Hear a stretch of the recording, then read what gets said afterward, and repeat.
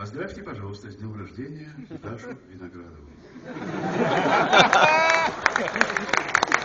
Даша Виноградова, я поздравляю вас с днем рождения. Говорят, что вы золото.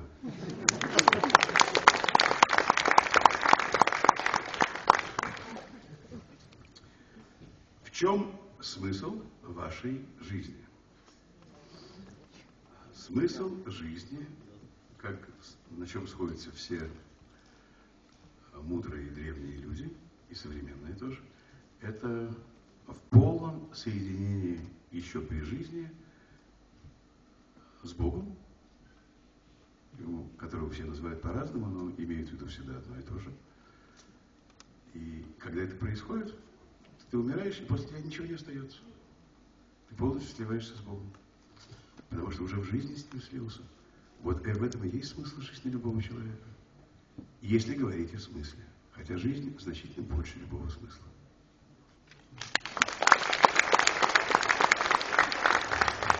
Арзамас – центр мира или пуп земли? Ну, вы знаете, судя по э, архитектуре города, я бы сказал, что скорее центр мира.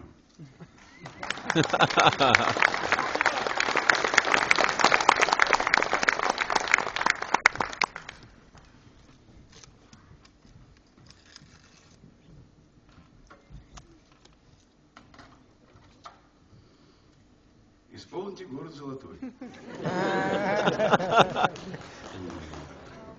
Автограф попытаемся дать. Кстати, автограф пишется через в конце буква ФА. Автограф. Дайте свой граффити. Вот это тот же самый корень. Там F. А, попробуем. А город золотой, понимаете, дело в том, что я пробовал. Меня часто просят делать, как вы сами понимаете. Я иногда очень пытаюсь. Но, как вы слышите, у меня голос не совсем тот, который был, скажем, лет сто тому назад. Надо пить то, что пили тогда. Вы знаете, если пить то, что пили тогда, тогда я, я уже буду на кладбище лежать. В том, что мы пили тогда, было очень большое содержание сахара. Совершенно верно. Почему не в Нижнем Новгороде? Потому что в Нижний Новгород нас пока еще не позвали.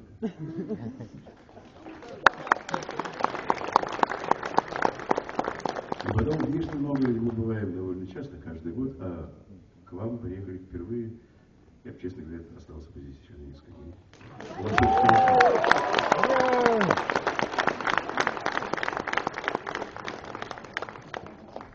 Второй вопрос. Что за брошка у вас на лбу? Брошь. Это изображение раковины моллюска, который называется Сен-Жак или по-русски а, гребешок.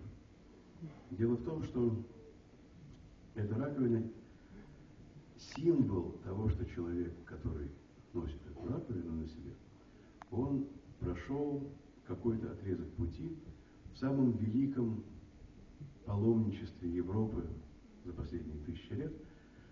Паломничество в Сан-Диего де Компостел – это такой город и Великий собор э, на северо-западе Испании, где находится мощи Святого Якова. Но поскольку я... Ну, эти люди, раньше, в средние века, люди шли несколько тысяч километров, чтобы туда пройти. Это был самый святой путь, который есть на земле. Я тоже прошел, но не совсем, не так много. Но принимал участие в этом, как раз в прошлом году. И так что имею полное право ее носить на себе.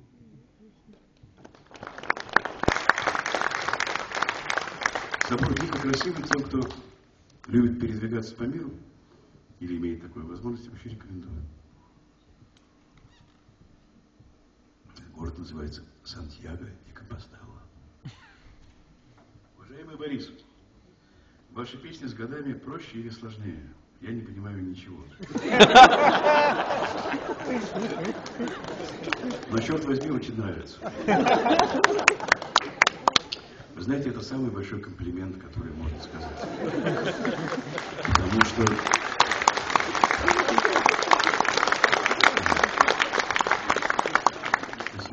при э, достаточном запасе знаний и терпения и, и исследовательском инстинкте там можно понять все. Но это совершенно не обязательно, потому что, ну, скажем, вот куст сирени цветет весной. Вы его понимаете? Нет. Вы наслаждаетесь. Этого достаточно.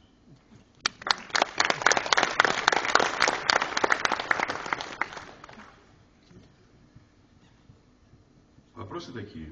Вы первый раз в Арзамасе? Да. Неужели вы взяли в группу Армена Григоряна? В таком случае вы считаете, что любой человек, который ходит в шляпе до земли, Но это определенно не Миша. И определенно не Армен. Но сейчас, когда они выйдут на сцену, я позволю себе удовольствие представить членов группы для тех, кто их еще не узнал. Почему вы стали петь «Террористы ходят строем по болотной Тверской»? Я стал петь, потому что это то, что происходит сейчас. Потому что Хари Кришна была в те годы. Сейчас в Москве многое изменилось. Поэтому, чтобы песня не потеряла своего смысла, нужно петь о том, что происходит. Ваше отношение к болотному движению. Спасибо, Николай. А, я только что читал э, у апостола какого-то, как кого-то из наших любимых апостолов. Нет, преподобный Иосиф, я не помню кто, какой-то, в общем, из святых православных, который говорил, что чтобы не впадать в разные крайности, там, в гордость или в то, или все, или в пятое, или в осуждение, то лучше не говорить ни хорошего, ни плохого. Я всегда стараюсь этого придерживаться.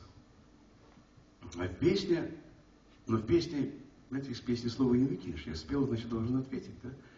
Но ведь все, все же в Москве считают, что на полотне собираются террористы, которым, которые все проплачены Госдепом, все получают ставку, и все ходят, чтобы свергнуть режим и установить свою власть.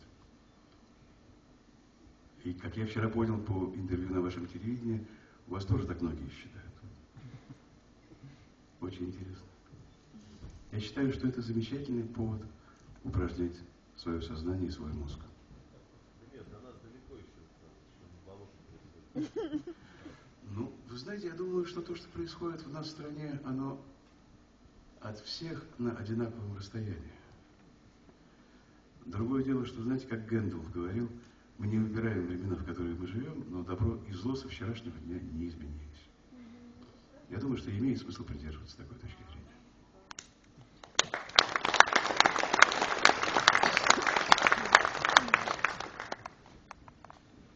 Не знаю, ответил ли я на ваш вопрос.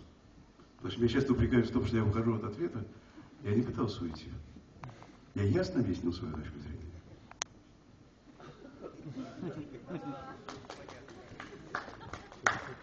Ровка.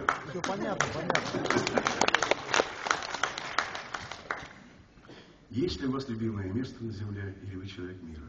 Я человек мира, и именно поэтому у меня огромное количество любимых мест на Земле.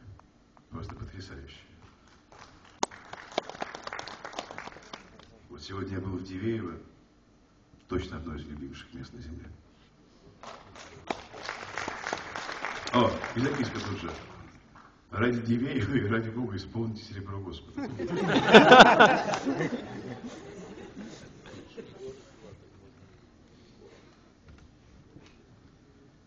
Зачем человеку нужна борода?